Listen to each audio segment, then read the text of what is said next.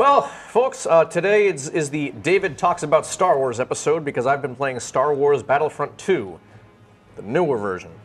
Uh, released in 2017 by Battlefield developers DICE, the sequel to the reboot of the classic third person shooter uh, was lambasted on launch for its over reliance on microtransactions and grind heavy progression system. Uh, it didn't take long for Electronic Arts to remove microtransactions from the game entirely, as well as rework the progression to the point where now game's actually pretty good.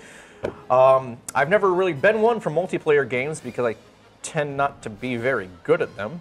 And while that is still the case for Battlefront 2, uh, the fun I'm able to have still playing game modes like Supremacy and Heroes vs. Villains reminds me of the, uh, the good old days playing the original Star Wars Battlefront 2 on the PlayStation 2.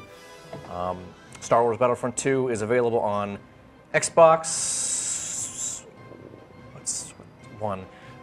No, you can just say Xbox because anything on the one plays Yeah, on the that's Series true. X. Star Wars Battlefront 2 is available on Xbox, PlayStation 4, and PC. Go, go buy, go play it.